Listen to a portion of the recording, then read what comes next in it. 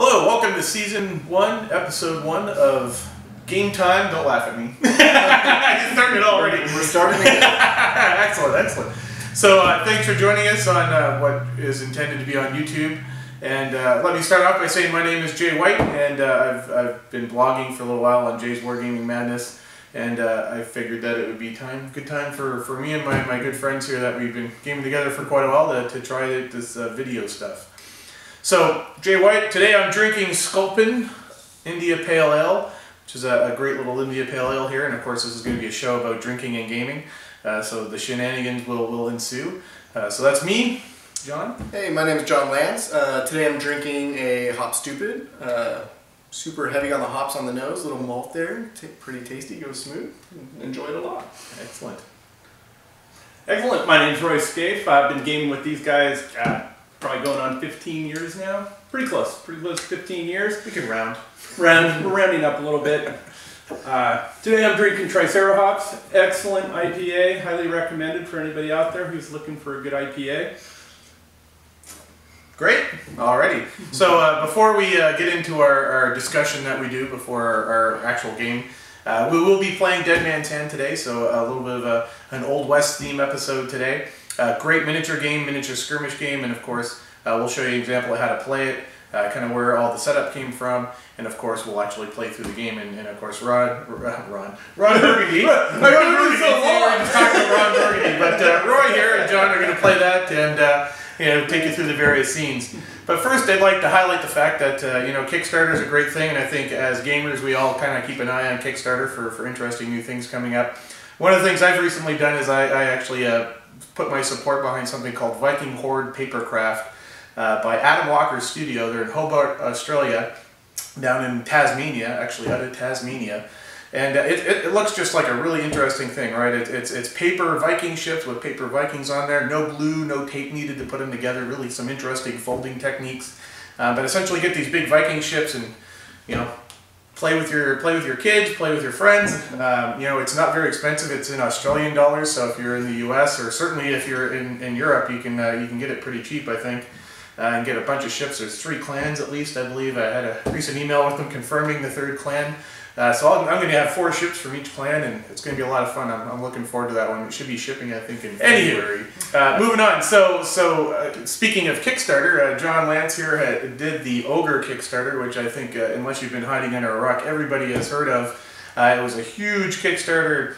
Had a probably the most bonuses and extras that I've ever seen added to a game, and, and he's been uh, kind enough to bring it over today to, to show it to us. Sure, so unfortunately, we're going to need to move our beers because this thing is ridiculously large. Oversized. It's, it's, yeah. I'm going to use a little ledge. It's There's no way I can spill my beer. We can edit it, right? that never happened. So, so here is Steve Jackson's Oh my god! Clocks in at 28 pounds. Takes the entire shot. Uh, you sure you get it for a hundred bucks on the Kickstarter? Spend another fifty for a dolly because you're gonna need it. it's it's large and in charge. Um, just the the amount of air in here gives oh a God. decent amount of vacuum pressure. So. Jeez.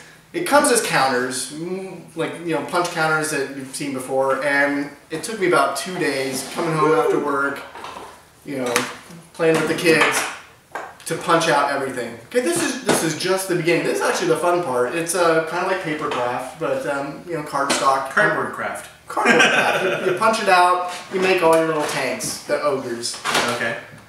And you had mentioned, so I'm looking at this here. So, John, clearly you've gone through and, and put everything together at this point, right? Yes. Uh, it would be nice if it came this way. It took quite a few hours. But um, honestly, the, the, this is pretty fun. Like, if, if you're into that. Like, if not, it's going to be very tedious. But um, I, I enjoyed it. So, well, I know you, you, texted me a picture of the box that came in, which was just a shipping box. But uh, clearly there was a stack on top. So, there's, there's so much cardstock here that they couldn't actually, okay, giant box, 20 pounds, you, they couldn't fit it in the box. so you had another inch and a half of additional counters to, to punch out. You know, thankfully, you know, once it's all punched out, it fits in. And it, honestly, the compartments, um, the way they've organized it, extremely well done. Um, so, maps, more maps than you know what to do with. I'm, I'm not going to save Roy the, the trouble of the space.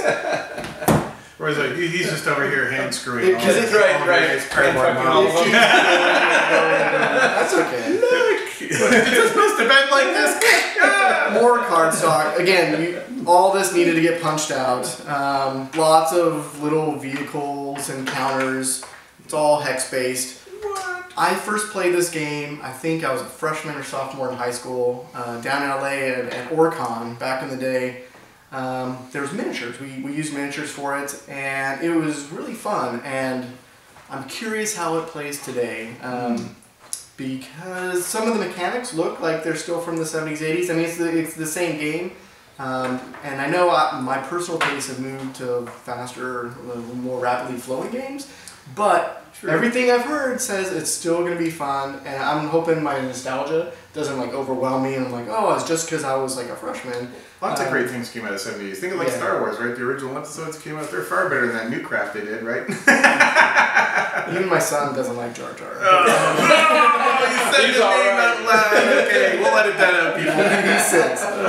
Anywho, I'm, I'm super excited to play this. Um, I want to I want to relive you know the, the, that fun I had back then and create new fun. And there's more than enough stuff here to create Yeah. new fun for for years. Um, yeah, so I'm, I'm stoked to play this. Maybe in a future episode, we'll get together, Yeah. uh, roll through it. That could be our next episode. There we go. There we go. Well, I, I was going to compliment you on your organizational skills with these tanks, but, uh, No. or ogres. Sorry. Steve and his team put this together extremely well.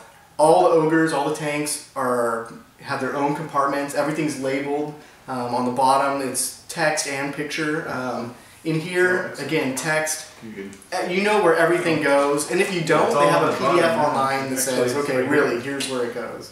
Mark five, Mark five, and then on the bottom Talking about over here, ones. it'll Mark say five. Mark five. And then I'll flip right back in. look at that.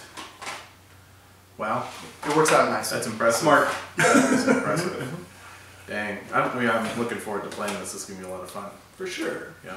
Kicking myself in the butt for not being on the Kickstarter. So, so good news is, so the Kickstarter obviously over.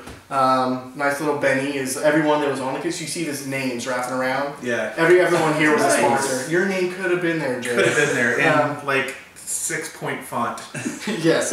yes. Anywho, the, the good news is there- this this is the designer edition where they just stacked it full because the Kickstarter broke a million dollars. There's just so much uh, funding came in. Okay. But they are coming out with just the regular edition for everyone else, and I think you're gonna be happy with that. But We're, absolutely. Well, that's that's awesome. Thanks for bringing it over today. not a problem. It's just very, very cool. Yes, so, uh, you know, great that we, we did this and, and got a chance to look at this. Of course, in the future episodes, we'll be taking kind of the, the, the first 10 or 15 minutes of, of each show to highlight interesting things, whether it's new products or Kickstarters, whatever we want to, whatever we think is cool and, and more people should know about. Uh, since there's just so much information out there these days, it's hard to keep track of everything. I know, you know, I missed the Ogre Kickstarter. Um, I think I'm gonna drill some holes in the top to let, let the air out. it- Just, just getting it resealed takes some time. There we go. There we go. We're still an inch off. Yeah. that is just It, it'll settle. It'll settle over time. Yeah. Okay, let's get our beers back on the table. I think, uh, that should probably do it for today. We'll uh, get right on to some Dead Man's Hand here, and uh, we'll, we'll take you through how to play it. Uh, just very simple example, and then John and Roy here, uh, not Ron Burgundy, uh, is they're going to throw down, and uh, they'll take you through the through the game. What's interesting with this particular game, one of the things that I really like about it is. Each really full game is, is really three scenes. So you have an opening scene, Okay. a middle second scene, and then a final scene. And of course, you could play each individual one separately if you wanted to. Uh, but you know, playing all three scenes together generally is about an hour long or an hour and a half long if you're really slow, like people we know. Um, but uh, just a really great skirmish game, and, and Absolutely. what's even better about it is you know a lot of miniature games you get into, right?